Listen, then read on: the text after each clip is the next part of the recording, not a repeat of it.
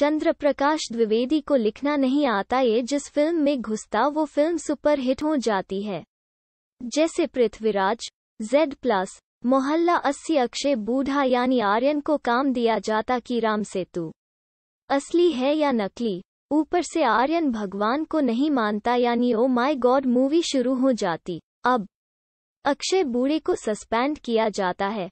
कुछ अदानी बिजनेसमैन अक्षय को सपोर्ट करते हैं। अक्षय अब राम सेतु पर रिसर्च शुरू करता है।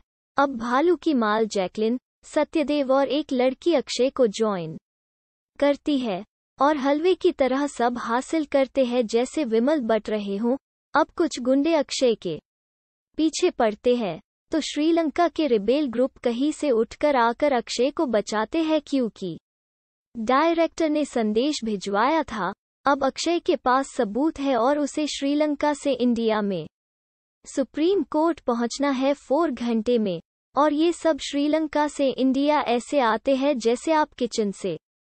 बेडरूम जा रहे हों और क्लाइमैक्स कोर्ट रूम ड्रामा है, फ़िल्म एचआईवी के मरीज़ से भी कमज़ोर है। डायलॉग, आधे इंग्लिश है एक्शन भोजपुरी है, क्वालिटी भी भोजपुरी है बीजीएम अच्छा है, डायरेक्शन ज़बरदस्त है जैसा अभिषेक ने जोया फैक्टर का किया था। एक्टिंग सबकी एवरेज है नासिर साहब।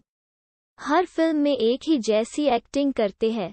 ये फ़िल्म राम सेतु के नाम पर मज़ाक है, अक्षय को सबूत ऐसे मिलते हैं जैसे राशन बट रहा हूँ।